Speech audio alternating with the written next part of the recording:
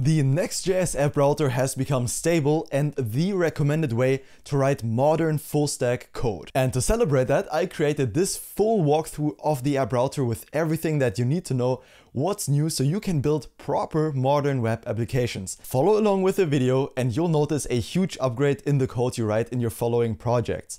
We're gonna cover topics like routing, very important to understand. How do you create static and dynamic routes? Then rendering. In the rendering chapter, we're gonna answer the question of which rendering strategy, there's a lot of options, should you choose for each page for the best possible page speed and therefore the best possible user experience. Then, you can build the best possible app with amazing routing, amazing rendering, super blazingly fast pages, if nobody sees your app, it's kind of pointless. So we'll also get into SEO best practices.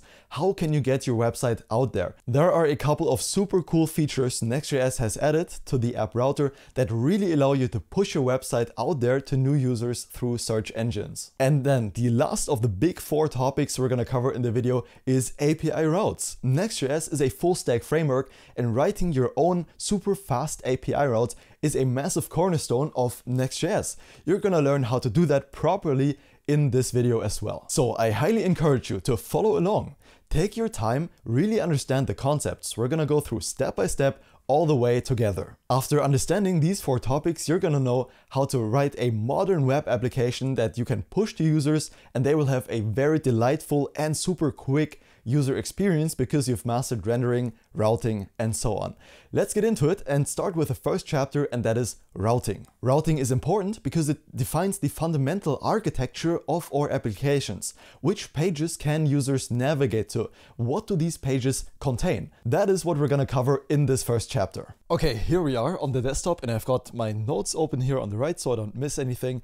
And to get started with the new Next.js app router, the most straightforward thing you can do is just create a new Next.js app by saying npx create-next-app at latest. And with the latest version, which is currently 13.4, there are so many cool things that the pages directory just doesn't have.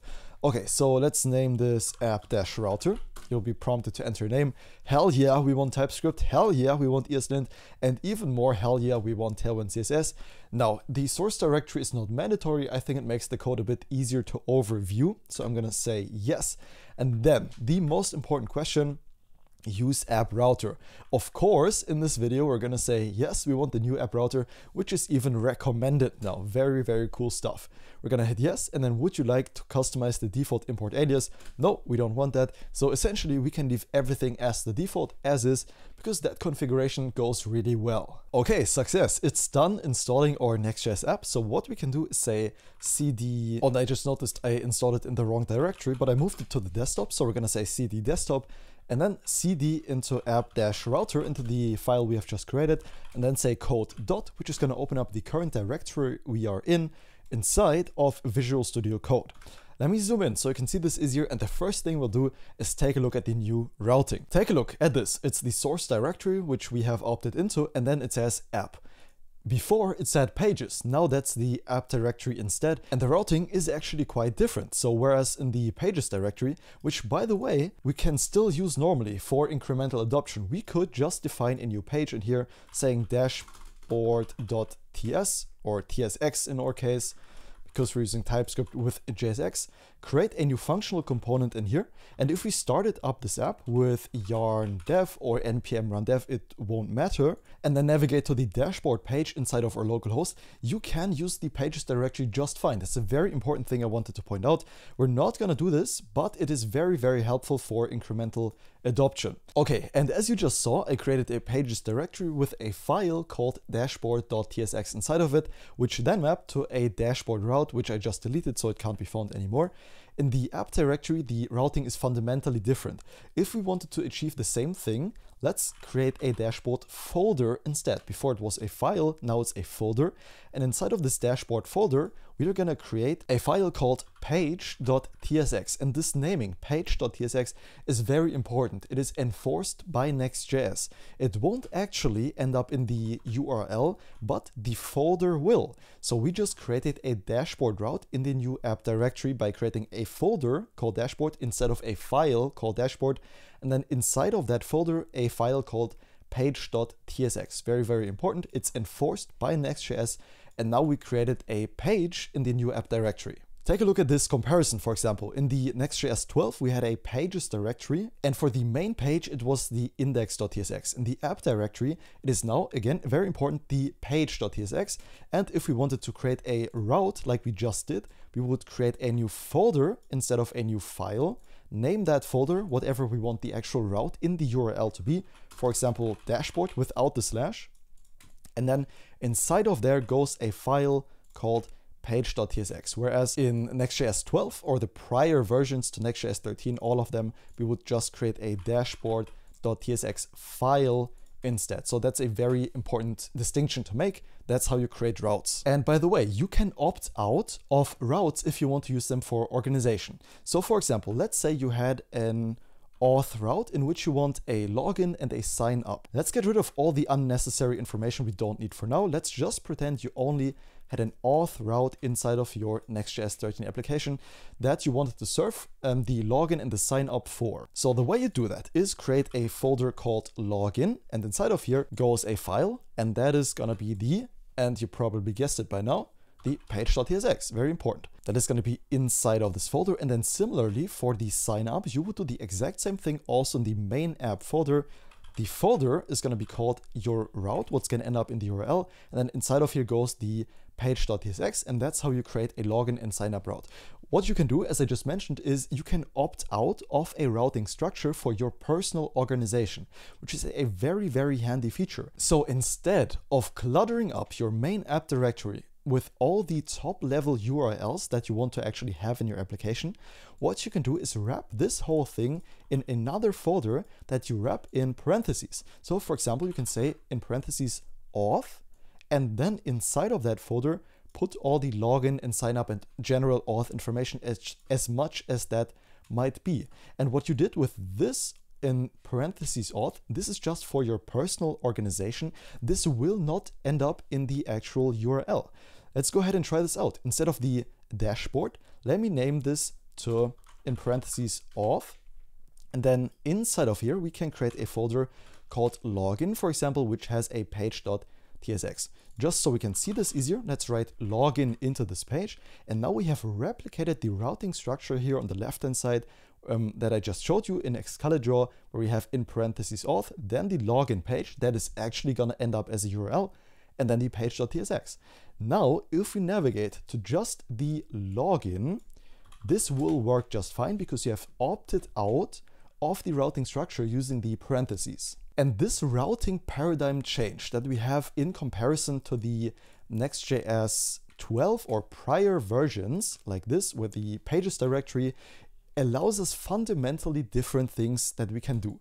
For example, there are a bunch of reserved names and to understand these, let's first take a quick aside and understand what server components are, because those are one of the most fundamental and important to understand changes in Next.js 13. I'm not saying they're hard to understand, that's a very important distinction, but it's very important to understand.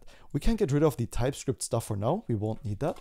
And the fundamental change they introduced is, take a look at this.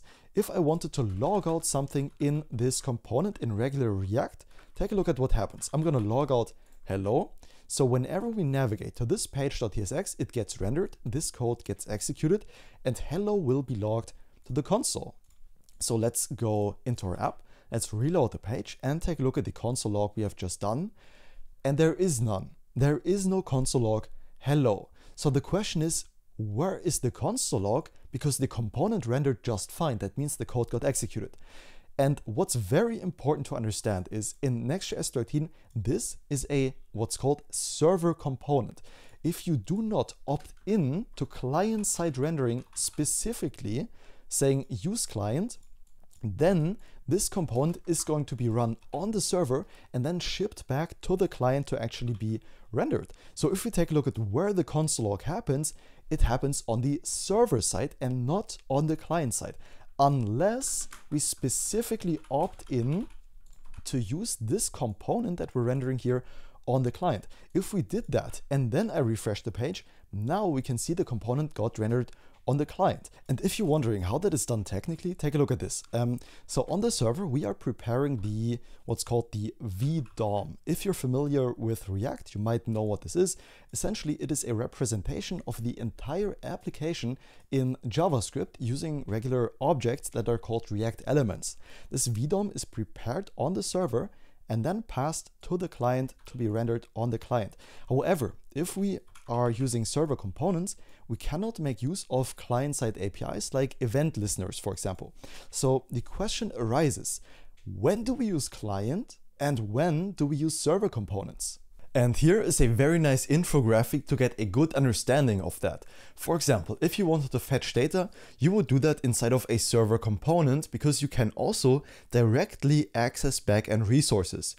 If you're working with sensitive information, you want to do that on server components or in API routes, pretty much anywhere that's not the client to avoid leaking your personal secrets to anyone. If you're using large NPM packages like Markdown, for example, is usually pretty large, try keeping them on the server because whatever you use on the server in JavaScript is not going to end up as the client.js bundle. Whereas if you wanted to do things like interactivity, on click, event handlers that depend on client-side APIs, you can only do that in client components. Anything that has to do with React hooks like useState, useEffect and so on, or class-based components if you're coming straight out of 2015, you can only do that in client components as well. So sometimes you can use server components, sometimes if you want interactivity especially, you cannot use server components.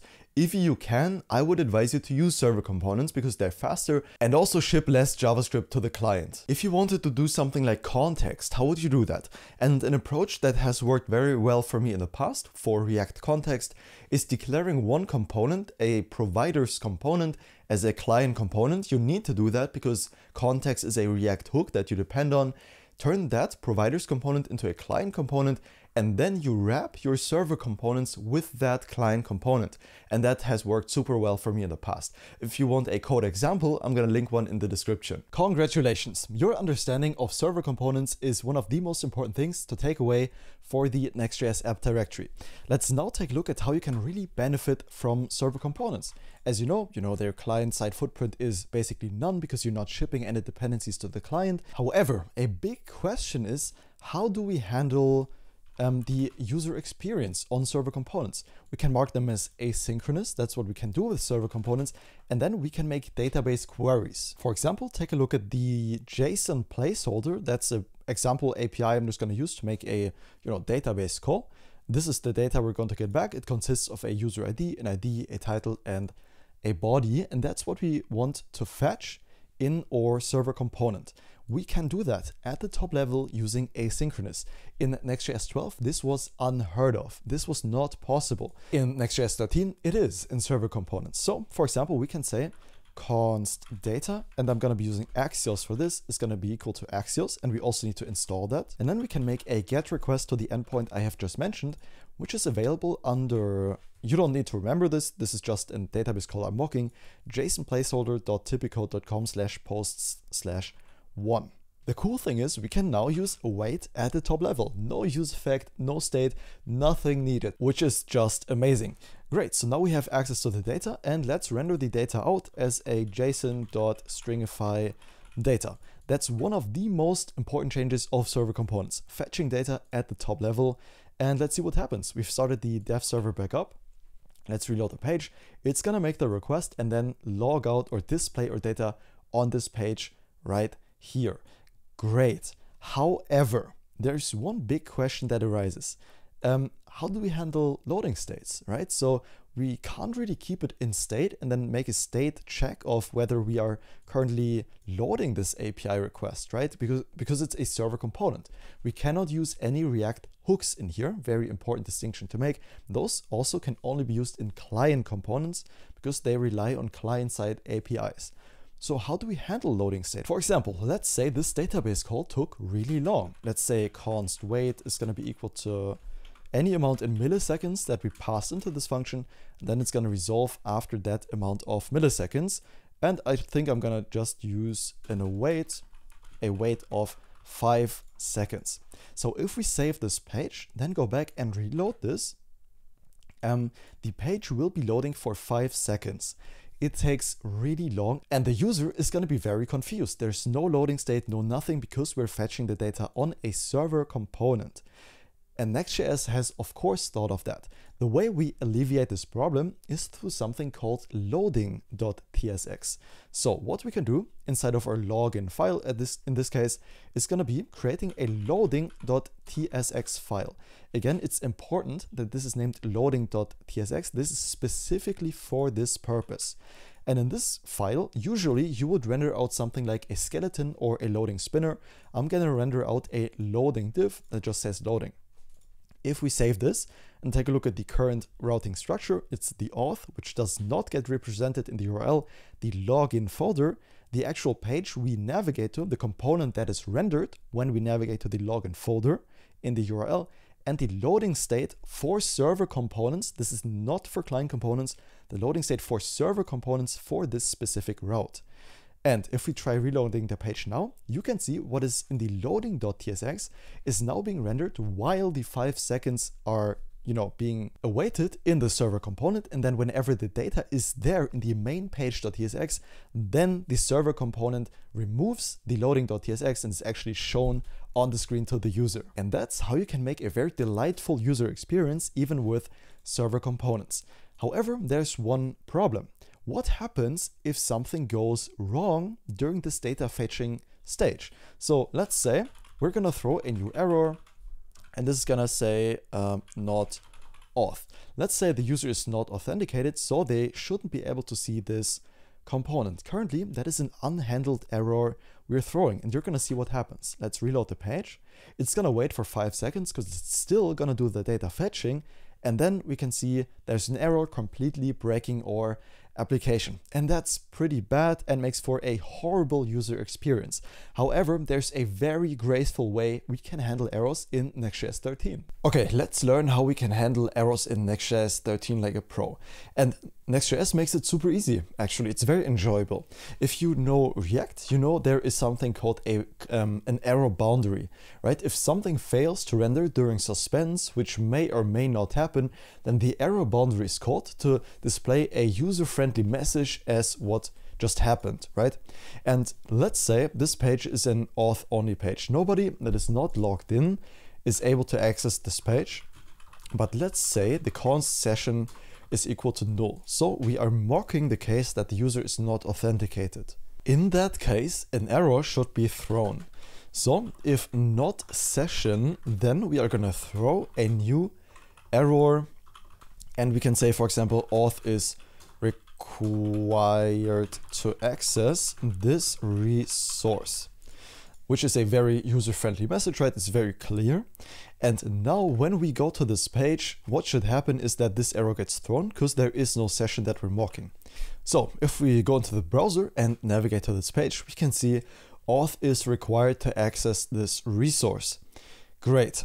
Well, what's not great is that our application currently crashes, right? Because this is an unhandled runtime error. That's pretty bad. But the good thing is that we know the error works correctly. And now we can actually handle that error like a pro. And the way we can do that in Next.js 13 in the experimental app directory is by creating a new file called error.tsx or .jsx, um, whatever you prefer. This is not TypeScript specific at all. And this is going to create an automatic React error boundary, meaning if something fails to load in suspense, right, there's an error boundary to catch that. And that's what this page right here is. I'm going to create this as a functional component, but as I said, no TypeScript needed. You could leave all this away if you wanted to and just save that. And by default, um, these error components, because we're passing them a function, implicitly, Next.js does it for us, they need to be turned into a client component, as though otherwise this would not work. And now let's see what happens. So we are navigated to the error page and we can see the error right here, which is fine. But this means the error is now handled, right? We are navigating the user to another page that is about to handle the error. And that is way more user friendly. And this page gets two properties from Next.js. One being the actual error, and the second property being the reset. it's a function. That's what I was talking about earlier. That's why this is a client component. A function we can call to redo the last action and see if that fixes the error. Super cool that we get access to that. Now, if you're in TypeScript, you might get an error because the types of these two are not defined. Error in that case would be of class or of type error, which is a class. And then the reset would be a function that returns void, but just if you're in TypeScript. If you're in JavaScript, don't worry about that. And now for example, we could render out a button saying try again. And on click of this button, we want the reset function to be called. Let's save that, go back into our browser, we get the button right here. And if we try again, you can see the error pop up again, which is great, right? I mean, in this case, it doesn't make any sense because we know the error is about to happen, but if something just went wrong because an API that you rely on in your app had a short outage, this try again would work properly, right? Just as you expected, which is a super good measure to make error handling user friendly. And then to make this even more user friendly, I've prepared just a little example right here that we can copy and paste. This is not about the styling at all, so I'm just gonna paste this in. It has a bunch of Tailwind classes prepared for us, but I just want to um, you to understand the gist of it, right? I'm gonna save that. And uh, as I said, this is just for the styling. It doesn't make sense to get into that.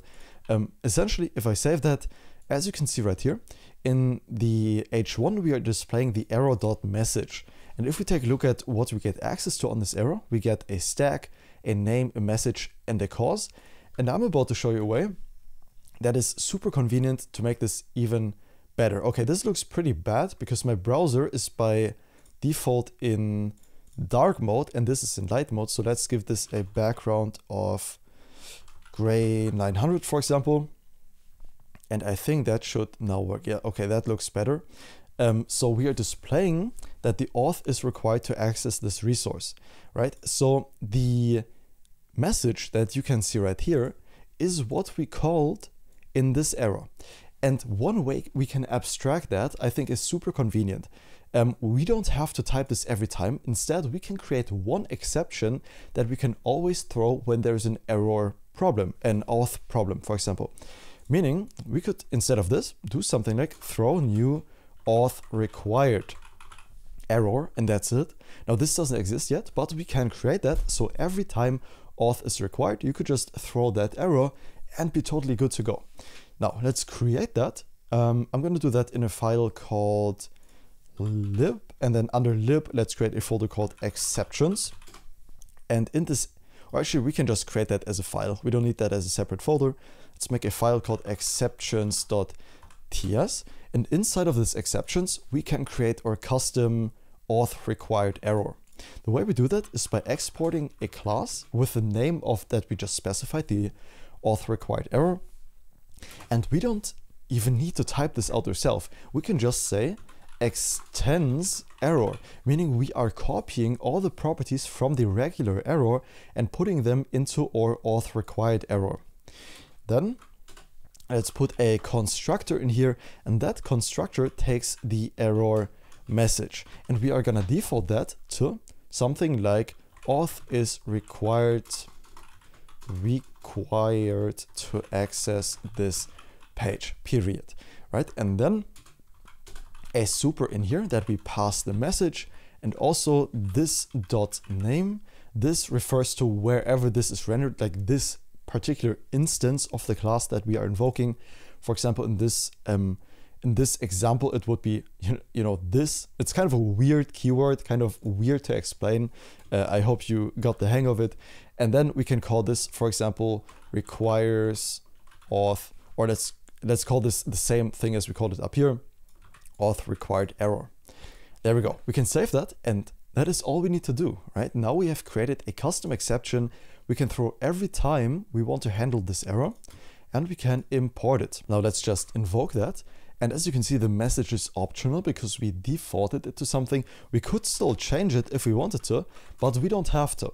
We can just throw this error like that, go back to our page, and if we try to render this page again, we can see auth is required to access this page. Great, we have learned so much so far. How do we work with server components, loading states, error states, and so on. Very, very good job. There are a couple of open questions. For example, how do we work with dynamic routes? Until now, we've only looked at static routes, but if we wanted to have multiple posts on a website that we could access through the URL bar with different IDs, how would we do that? It's great you asked, let's investigate that. First off, dynamic routes. How the hell do you do it? Well, the approach itself is rather similar to the pages directory. So for example, let's create a folder called post. And inside of this folder, let's um, create a folder in angled bracket notation. I'm gonna get to what this does in a second, called post ID. And inside of this post ID, we can create a new file. Again, this will be called page.tsx. Very important. And this is going to be any component that you want to render out when the user navigates to slash post and then slash the post ID. Let's try this out. We can go to slash post and then slash one, for example. That's going to be the post ID and our page shows up. So fundamentally what we did is create a post folder, inside of there a post ID folder, and then the page.tsx. The post obviously stays the same because it's a static route. It's not in angled brackets, so it will be represented as is in the URL. This is um, pretty small, but what it says is just slash post slash. Then when whatever we put into after the slash that comes after post, um, so this slash right here, whatever comes after that is going to be inferred as the post ID. So if I navigate to slash post slash one, this could be anything. This could be this could be me random Jesus. This could be me randomly typing in any letters. That would still just be the same post ID that is then passed. That's very important. This post ID is passed to our page.tsx. So we can receive it at the page.tsx level and then do data fetching logic, for example, with it. And the way we do that in Next.js is pretty interesting. So by default, our page receives props. Now let's just log out the props. Let's say console log props. Whenever we go to this page, we are going to log out these properties. We are inside of the dynamic route. So let's navigate to this, refresh the page and see what it logged out to the console. This is a server component. So remember, it's going to be logged in the actual VS Code terminal instead of in the browser console we can see it says params instead of an object, post ID, and then whatever I typed in after the slash as the post ID as I just showed you. And there's also search params. Very interesting. So we get access to the post ID. And the reason this is called post ID is because that's what we have in these angled brackets right here. If I were to change whatever's in the angled brackets, what is being passed to the page is going to be the same thing as in the angled brackets. If you're in TypeScript, you could do something like receive these params explicitly inside of the object and then type them out inside of the page props. So in our case, we know this is of type string the page props, and then the params. And we could display the params dot. Oh, and of course, this needs to be an object containing the post ID, and that is of type string. Right, so we can remove the console log, and if we wanted to do some data fetching logic, we could get access to the post ID just like this. So now whatever I type in after the URL will now be displayed as the page content. And what you would normally do is some um, DB fetching with this information. For example, this is an article ID. You want to get the article content from your database. You can do that again, what we just did at the top level by marking this as asynchronous. For example, you could do that um, by removing the type, saying this is an asynchronous function and then defining the type like this. That would work just the same. And now at the top level, because this is a server component, we are not using client anywhere here, um, we could do database fetching at the top level and then display the actual article content. That is how dynamic content is achieved in Next.js 13. Now, Josh, what's the search params? What are those about? And what you can do is if you make a GET request, you can pass params by entering a question mark. Unfortunately, I can't zoom into this, but what I'm typing right now is slash post and then for example slash one and then um, the question mark and then search query is gonna be um, hello. For example, these would be the search params that are passed into the page. So let's enter that as the URL and see what happens. I'm gonna type in search query is gonna be equal to hello, hit enter, and then again, let's log out whatever comes in as the props. I'm not gonna bother typing this out. So let's just say props so we can take a look at whatever is incoming. Let's mark these as any so we can just log them out and return an empty div that does nothing. Let's just say hello in the div and see what happens. Let's reload the page and now take a look at the search params that come in. As you can see, it's an object with whatever we typed in as the get request params that are being passed to this page. Now, what if we wanted to enter multiple slashes in the URL bar? So for example, what I'm doing right now is this slash post slash one slash and then for example blue if this was some or let's say these were um, shopping items this would be the first item and then the color would be blue just as an example what's important here is that we're entering another slash after the ID, which we haven't mapped to in our routing structure. We only are accepting a slash post slash one to ASD whatever and then comes the page.tsx. So if we type in another slash and then blue after this, our application does not know how to handle that. But doing that, handling that properly is very straightforward. We can turn this dynamic post ID into something called a catch-all segment. Now, by inserting a dot dot dot before the post ID, we can see what happens. We're still logging out the props. Let's reload the page and now our application knows how to handle this route because the catch all segment, as the name might suggest, whatever we type after the post ID, this right here is our catch all segment, the one. And we could type slash blue slash, ye slash yellow slash doesn't matter because now it maps to everything that comes after it. If we take a look at the console, we can see post ID and now it turned into an array. And this array is separated by the slashes in the URL. So I typed in this as the post ID slash blue, and that's how these two end up in this array. Congratulations, you're now an expert in Next.js routing. You know how to properly route, you know how to take advantage of server components, handle their loading state and error states for the best possible user experience. Very, very good job. In the next segment, we're gonna take a look at rendering. And why rendering is so important is because it determines a lot about the speed of our application. The more static a page is in general, the faster it will be. So let's take a look at how to use rendering strategies in Next.js. There are a couple of options to your advantage for the best possible page speed. So not only in terms of routing, but also in terms of rendering, a lot has changed in Next.js 13 let's say this was a server component before, right? By default, it was a client component, but again, I'm talking about Next.js 12 here. You could turn it into a server component by exporting an asynchronous function called get server side prop, oops, props, for example, and whatever you return as an object as the props inside of this get server side props function would then be passed as props into the component on the server, then be put into the HTML to be retrieved on the client, and that's how it worked under the hood. This function, along with um, the static params, do not exist anymore. The way you do this is now fundamentally different and it's also fundamentally easier. Let us switch away from the post example for a second and let's create a very normal um, folder, for example, called dashboard, and this dashboard has a page.tsx. So this maps to a slash dashboard um, URL and then renders the page as the component for this path. The way we can check how this is rendered is by building out our application. Let's stop the development server for a second and then run yarn build or npm run build. It does the exact same thing.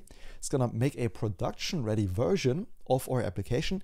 And for each path, that's the important thing.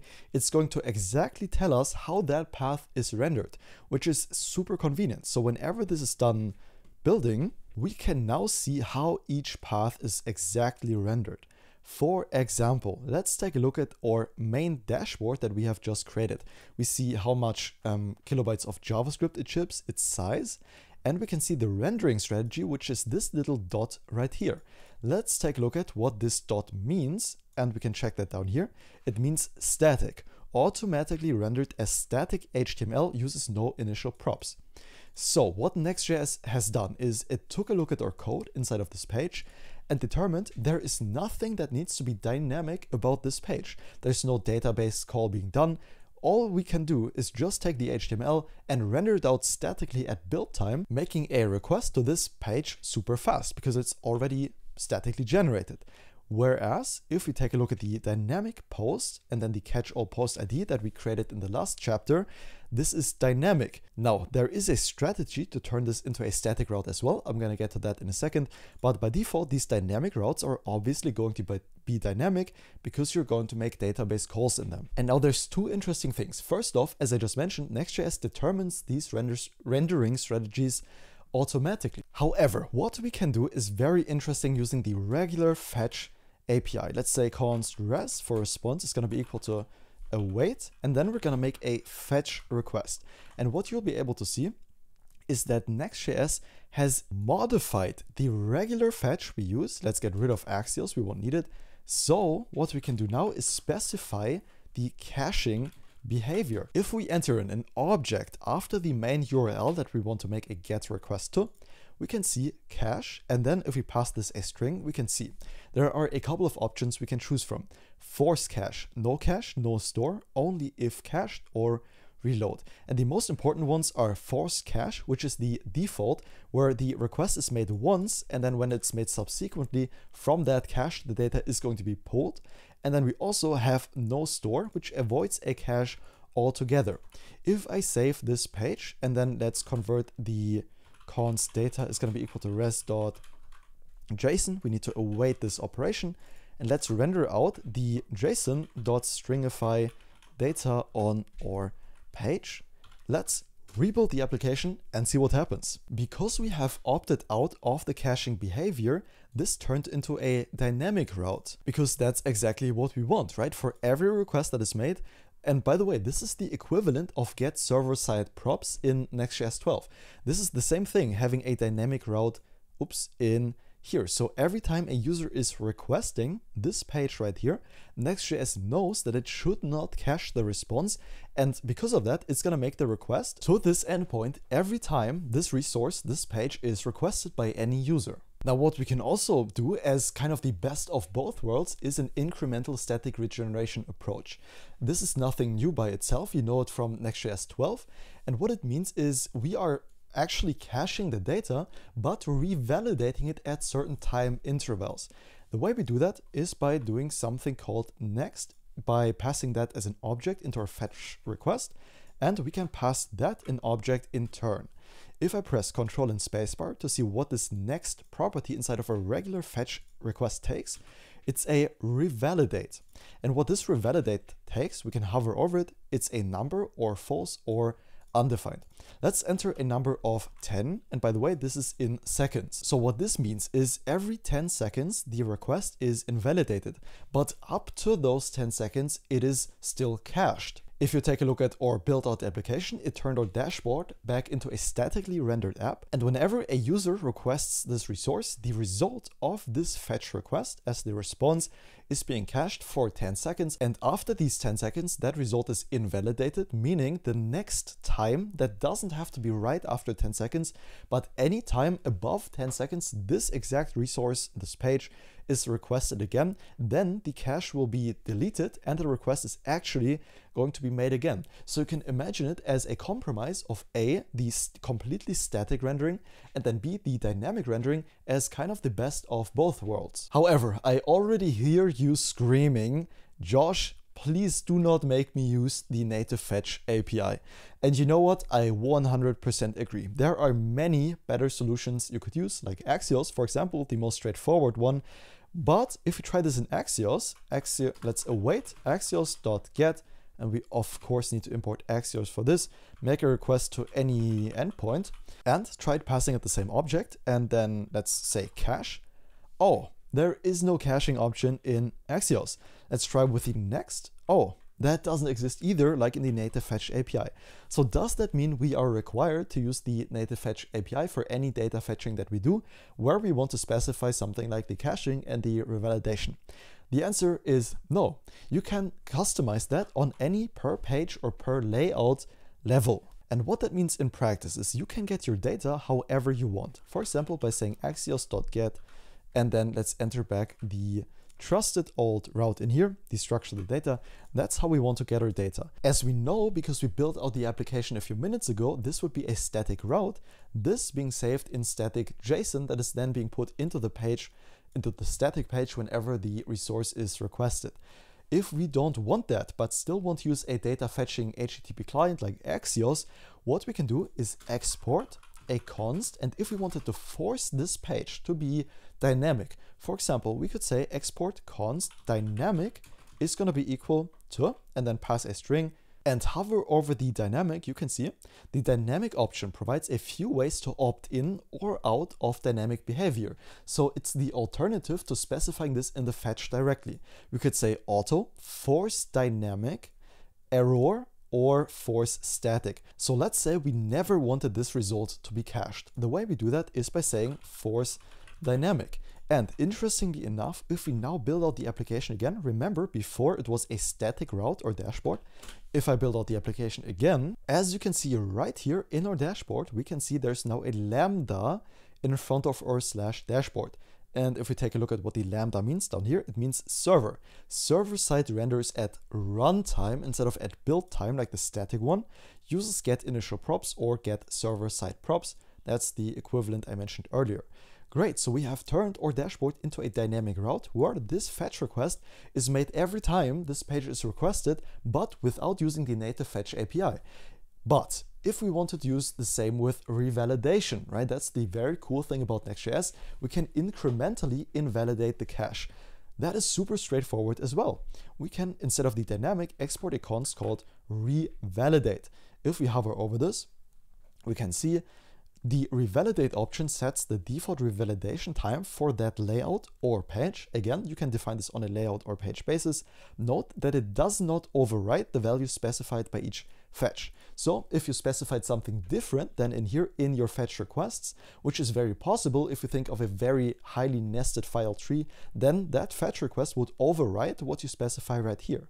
But we can say zero, any time interval, any positive number, or false if we wanted this page to be completely static. So let's export, for example, a 10 second interval from here that is valid. And if we rebuild our application one last time, let's see what happens to the rendering strategy of our dashboard page. You can see, just like with the revalidation in the fetch, it turned again into a static page, just like we would expect. And the main benefit that static pages bring to us are better performance because they are not being requested at runtime. The data does not need to be fetched at runtime. Um, where you have to deal with API latencies. If they are static, you don't need to worry about that at all. So the question is the dynamic posts we have created, right? It would be better if we turn those into static assets instead of requesting them at runtime. How do we do that? Is that possible? In Next.js 12, it certainly was, and in Next.js 13, it definitely is as well. Let's take a look at how we can do that. So what we want to turn into a static path is essentially the post ID right here, right? So what we can do is navigate in here, and I'm just gonna change this back to a regular dynamic segment, makes this a bit easier, and then go into our page.tsx. To statically generate this route at build time, let's export. And this is going to be an async function that is called, very important, this is enforced by Next.js, generate static params.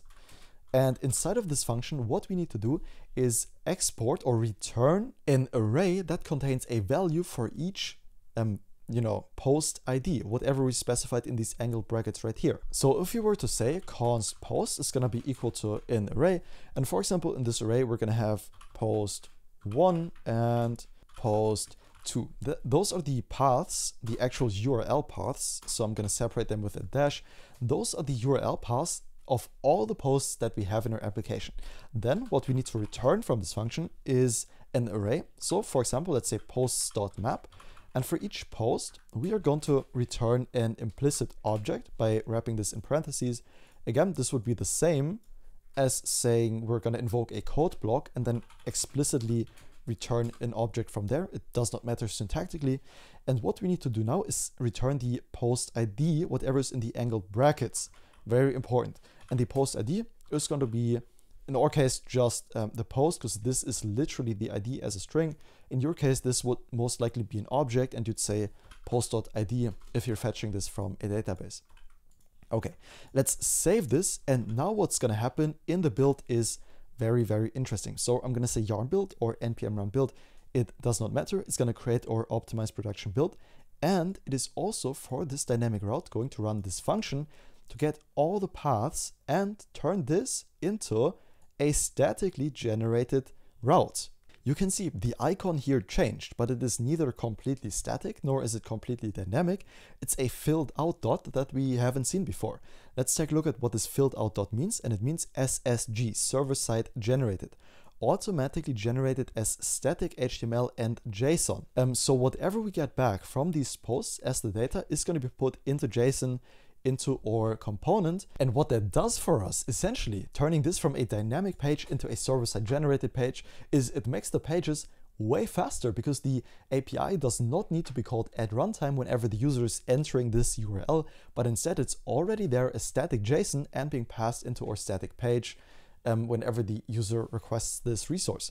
So turning this into a SSG page using the generate static params, especially if you know there aren't going to be like 2 million of these posts, is actually a very good idea and is very easily done in Next.js 13. And that leads us to one last thing. As I mentioned earlier, you can opt in or out of the revalidation or dynamicness in something called a page or layout basis.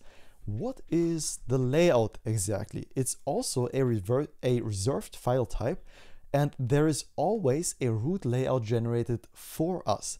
This is by default again on the server because we are not specifying use client here. And if we don't do that, this is going to be a server component. And it also, that, that's funny, it's highlighted the metadata because um, the Next.js metadata API is not allowed in a client component which makes sense. So let's close all of the other files. Let's say close others and just focus on the layout right here. What is this? Let's take a look at our current app structure. So we have a slash app, the new app directory. Inside of here by default, oops, is always a page.tsx because you need an index page and there's always going to be a layout.tsx. These are enforced by Next.js. Even if you try deleting the layout, you can't because it's going to regenerate it when you build the application, which is very funny. So you have to have a layout.tsx. And if we take a look at what this layout takes, it's children that it then renders out in the body. And as the layout name might suggest, the whole application, at least in terms of the root layout, is going to be passed through this layout as the children. So say we had a dashboard in our application. You know by now that the way we do that is by creating a folder called dashboard that then in turn, oops, has a page.tsx inside of that folder. That's how we do a dashboard. Every component, every page, everything that is below a certain layout, there's not just one. You can create a layout everywhere in your application. You can't just, or you, you could have one, you can have multiple. Everything that is in the file structure below this layout in any subfolder is going to be passed through this layout in rendering. So that means if we had a dashboard page, it would be passed as children into the root layout because in the file tree, the dashboard is going to be lower than the current layout. Because of that, it's going to be passed into this layout as the children. We can do whatever we want with it and then render out the actual children. If we didn't render out the children in the root layout, of course, what would happen is our whole application wouldn't work anymore. And I think our development server is not running. Let's start it back up. For example, let's try navigating to the dashboard. And while the page will actually be found because it is present in our file tree as the dashboard slash page.tsx right here, it is not actually rendered out everything that's beneath this layout in the file tree is going to be passed in as children. And if we don't render it out, of course, there's going to be no content in our page. That's why it's very crucial to render out the children. And the main benefit the layout gives you is you can actually create layouts for your apps. And these layouts will actually share state between re-renders. So when the children re-renders, when something happens inside of our dashboard component, the layout doesn't really care. If I change the page, from slash dashboard to whatever else, this dashboard would not re-render, it would keep its state, which saves us a lot of computing power. What we could also do is define a layout anywhere where we have a page.tsx possible. For example, in this, let's define this as a layout component, we're gonna get our React children that are of type React Node if you're in TypeScript that automatically get passed in here. You don't need to worry about that. And if we didn't render them out right here, that means our main page.tsx would still work just fine because this layout right here is not above this page.tsx. Above meaning it's either on the same level or you know, in the file tree above it, any folder above it. So this layout is only going to apply to this page.tsx that is also in the layout. And we can validate that. Let's navigate to our main um, file or main URL, the homepage. That works just fine. If we try navigating to the dashboard, then that dashboard is passed through the um, layout.tsx that is in the same folder. And because we're not rendering out the children, only this page.tsx on the dashboard is not actually being displayed to the user. Now there's another file that is called template instead of layout. I don't really want to get into it. It's a, a pretty similar thing and I have never needed it for any of my production builds, even when the app router wasn't stable and it wasn't even recommended for production. There, I just wanted to let you know there is something called template. It does a very similar function um, to the layout, but what you really use is actually the layout. Great, we've now taken an in-depth look into rendering and also routing, both of which super important for Next.js 13. But you can build the best web application in the whole world using the most advanced routing and rendering strategies, incremental static regeneration, everything super cool. If nobody sees your app, nobody will care. So in the next segment, we're going to take a look at SEO. How can you make your site rank well in Google? What changed in Next.js 13 that helps you rank your site, improve the SEO, and actually get your website out there and seen by real users on a search engine? I think the coolest feature they've implemented for SEO purposes is you can now generate sitemaps for your entire application at build time. That is super powerful. And the way you can do that could not be easier.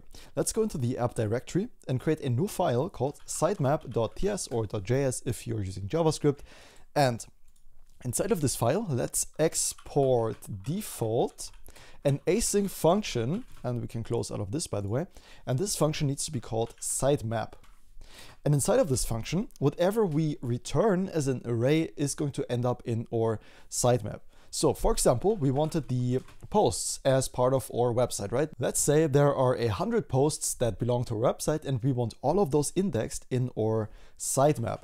What we can do is make a database call fetch all the posts. Again, this is going to be our trusted JSON placeholder um, posts and then const all posts are going to be await res.json and let's type this as a custom type that is post. We know from fetching the um, JSON posts earlier what this type is. Um, so I just typed it out here. And then let's map over these. Let's say const posts is gonna be all posts dot map.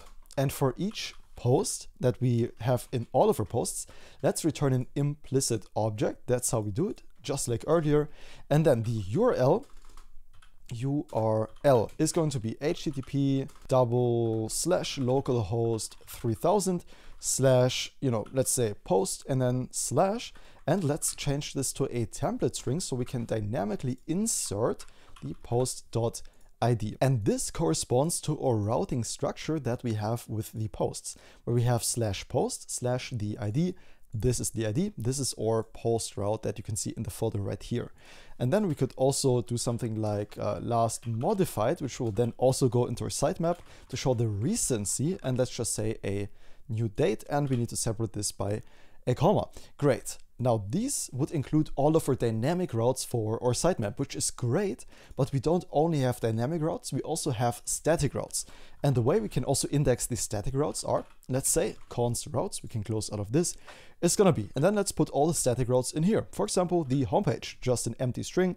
Then let's say we had a slash about page, just for example, and a slash blog, or in our case, that's gonna be the slash post because this is currently not indexed either, just the dynamic routes are.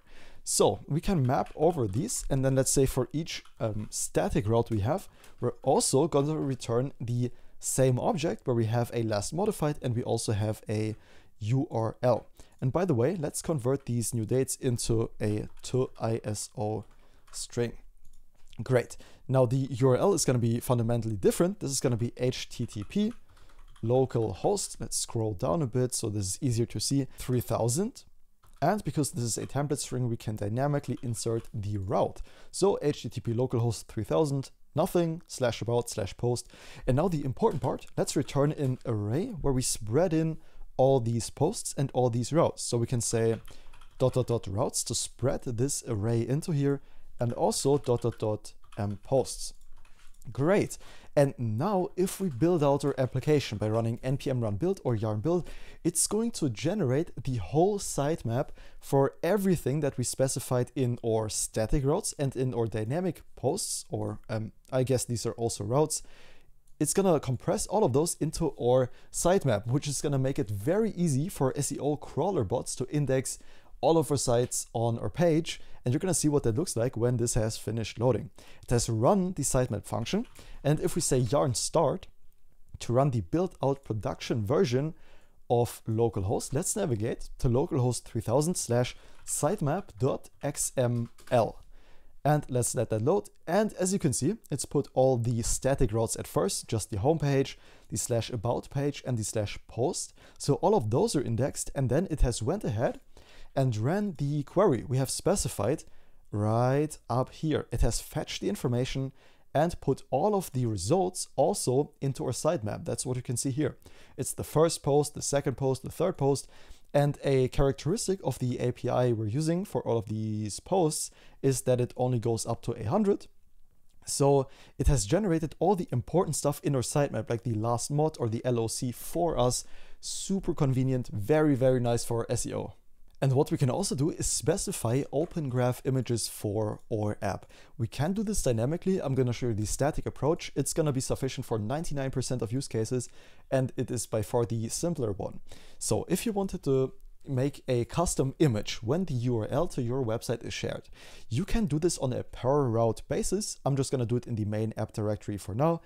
And the way you do that couldn't be more straightforward as well. You can drag an image. I'm just gonna drag my Discord profile picture inside of the app directory.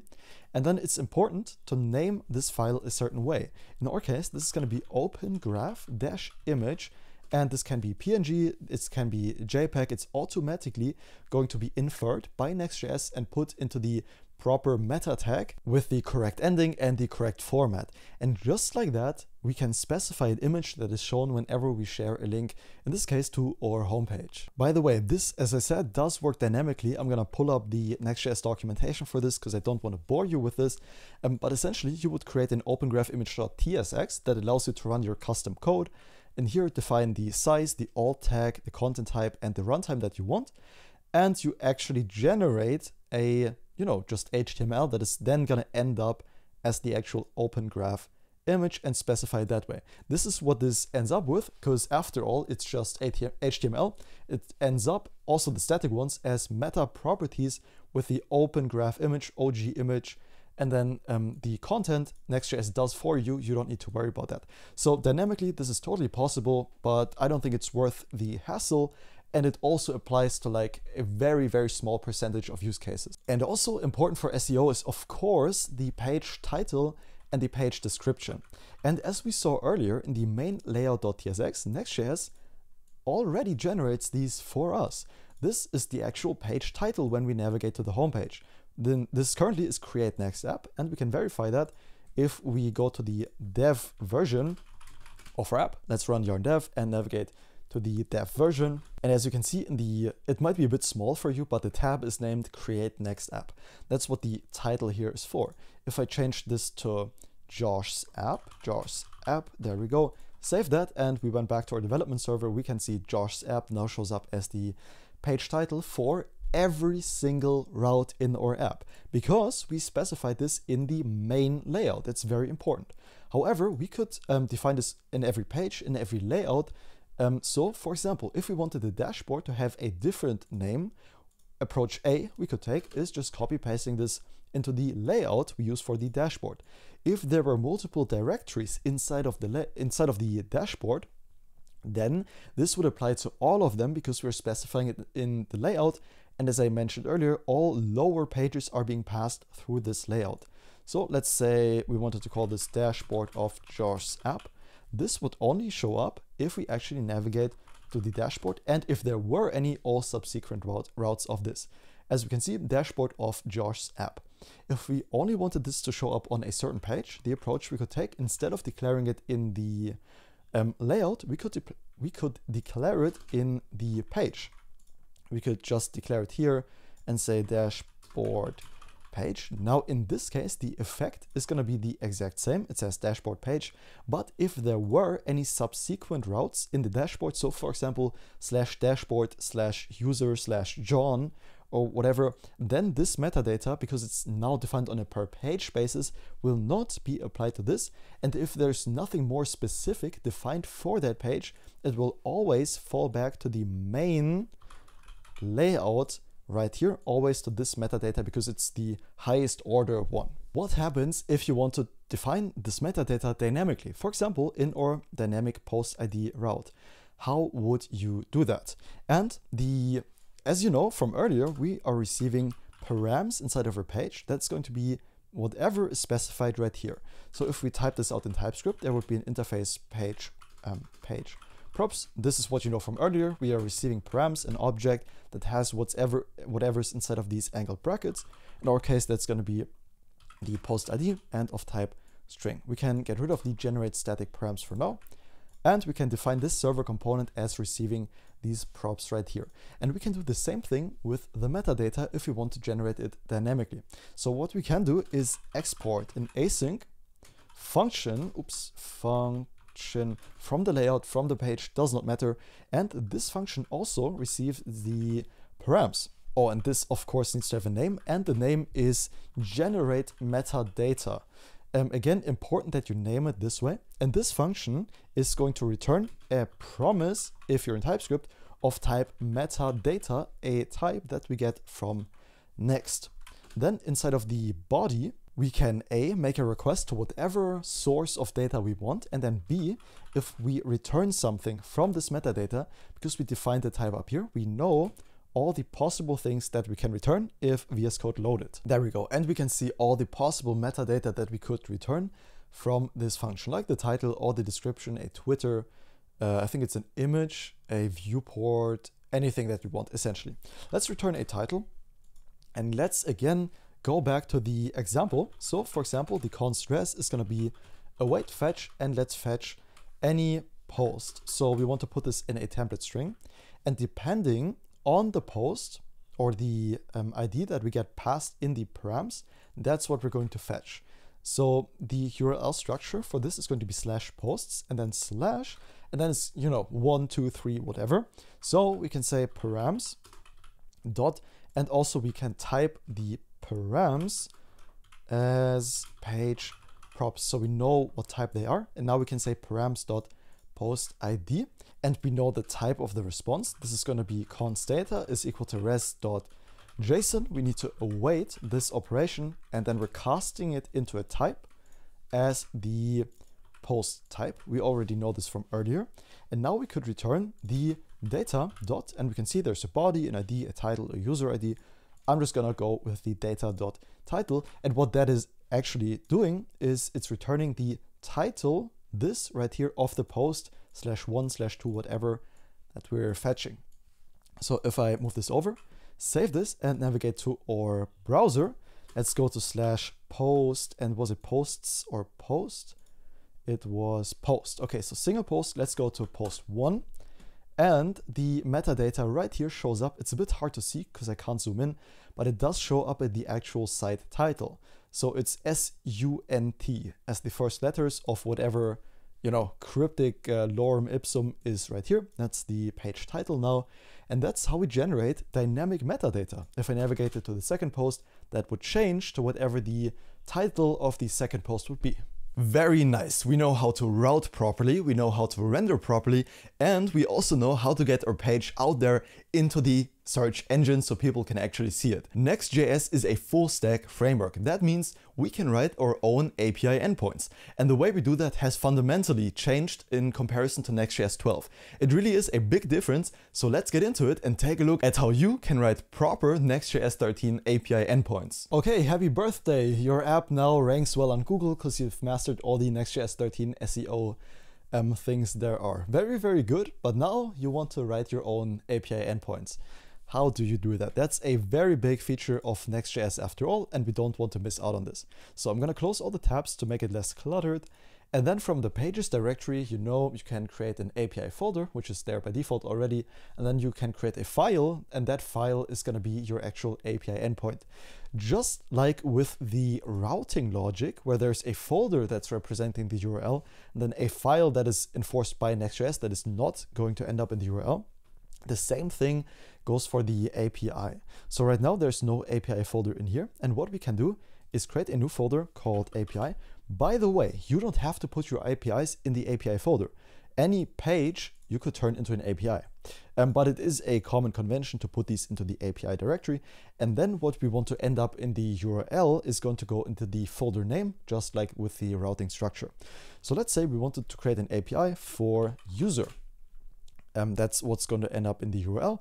And then inside of this user folder, we're going to create a file. And now the name is not going to be page.tsx, but it's going to be route.ts. Very important you name it route because that's what Next.js is, you know, listening to for your APIs. So this name is enforced by Next.js if you want to write API routes. And now what is fundamentally different in these new routes is instead of one route, one handler, so traditionally we did this, right? Export default const handler, and then this got a request and a response, and it returned something, and this syntax is not correct, and you know you can't do it like that, but export default handler. This is the way we handled um, Next.js 12 or anything prior to 13 endpoints. The fundamental different difference now is we can export the HTTP verbs from the route.ts file. So we can say export, and it's important this is a named export, not a default one. Async function get, for example, the HTTP verb get. And now, if we made a request to slash API slash user, not to route.ts, just API user and a GET request, then this function will handle that GET request. Similarly, if we made a POST request, async function POST, then this function would handle it. So for example, let's log out get request in the get and let's log out a post request in the post. And we can try out if this works. If the development server is running, great. And we can see if this works. Let's curl the HTTP localhost 3000 slash API slash user. We know that's gonna call the get request right here. And we got nothing back because we didn't return anything from the function, but we can see a get request was made. And if we did the same thing using a dash x post, making a post request to the same endpoint, we get nothing back, but we can see the corresponding HTTP verb function post has been triggered. So that's how we handle the different HTTP methods inside of one single route.ts file. Now, an important concept to grasp for these routes is how you get and return data from these. So the only thing you get inside of the get or post or whatever, any HTTP method is going to be the rec, the request, and this is going to be a of type request, which is built in just a native type, or Next.js also provides a next request type from next/server that you can use for this request. And the way you return data from these endpoints is also fundamentally different. Instead of having something like a res dot, oops, like it was before, it, and it won't let me type that because it doesn't know what it is. Like a res dot state is 200 dot JSON, and inside of here you define the JSON payload that you want to return. That's not how we do it anymore. Instead, we return a new response class, which is just a native web API. And inside of here, we can either pass a string like OK, or if we wanted to pass a JSON payload, we could json.stringify anything like an object with the name of John, for example, that is then going to be returned to the client. If something went wrong and, for example, the user is unauthorized to get this response, then we could pass an object, the um, properties as the second thing, um, as the second, um, you know, argument into the response class. And, you know, we get a headers, a status or a status text for example, we could pass a status of 401 unauthorized um, if the user you know, is unauthorized. Let's save that and see what happens. Let's make another curl request to this endpoint and we can see there's a name John, just the response that we passed back here. Phenomenal, really, really good. Now the question is, how do we get access to something like um, the search params. For example, in a get route, if I made a request to this endpoint um, using the same URL, but for example with a question mark and then my search param is equal to hello. Currently, we are not reacting to that in the API endpoint. If we wanted access to these in a GET request, the way we could do that is by destructuring something called search params from a new URL class. And into this URL class, we're going to pass the rec.url. Now we have access to the search params. And now we can do something really cool. For example, if we wanted to retrieve the my search param, we could say const my search param is equal to, and now search params dot, and this has a method called get, which takes a string of whatever search param you want, for example, my search param. And let's log this out in the console log whenever we make a curl request to that API endpoint with the my search param. This should get logged to the console and it does right here. So this is how we get the get request search params. And also, arguably more important, the post request payload. This is also of type next request or the regular um, request that both works. And in Next.js, anything prior to uh, 13, we could say rec.body. This doesn't really work, but let's take a look at this. Let's make a post request to this endpoint like that. Post request, and we log the response body. Um, you can see this is of type readable stream, locked false, state readable, supports BYOB false. That's not really what we are expecting as the post request body. Um, so instead what we can do is get the body another way. Let's say const body is going to be equal to, and then rec dot json. We are assuming that whatever comes in is in JSON format, and we can await that operation. That's how we get access to the post request body content. And let's just return a new response saying okay. And if I make a request to this endpoint, let's log out the body in here. I'm going to make a request using Postman here on my site that contains a post request body. And exactly, I'm super original. I know the post request body I passed was named John and that's how we get access to the post request body content. If you've ever worked with the experimental Edge runtime in Next.js 12, you'll know that the syntax is the same as that. The regular API route syntax was different, but if you're using the Edge runtime, you would also um, act with the same um, native web APIs, just like this.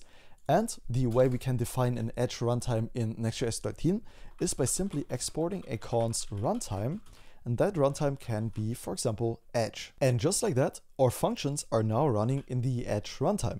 If I made a request using Postman again, you'd see nothing really changed, everything is still the same, but they are A, faster, with the trade-off being that you have access to less APIs in the Edge runtime. So for example, if you're using a Prisma database, because Prisma uses something like Rust under the hood that is not compatible with the less API access you have in the Edge runtime, you can't do any Prisma fetching or writing to the database at all in the Edge runtime. If you'd like more info on this, I'm going to link the documentation page. You can see there are a couple of network and encoding APIs, but there are overall way less web APIs that we have access to in the Edge runtime. Again, I'm not going to bore you with implementation details. It's all in the documentation if you um, want to know more on that. But these are the basics of how to write your functions. That's how you get data from a GET request, like this, with the search params, and from a POST request, and this is how you return your responses, either as JSON or as plain strings, which is sometimes just fine. Man, if you've been following along with the video and learned about all these things, good job. They are truly setting you up to write modern full stack web development code inside of Next.js. Very, very cool. Just to quickly summarize, we've taken a look at rendering, at routing, at SEO best practices, and also at writing your own API endpoints. Those are the big four areas that are new in Next.js 13 and I gave my absolute best to explain them as good as possible to you. I really hope you enjoyed. If you liked the video, make sure to drop a like and then I'll see you in the next one. Have a good one and bye bye.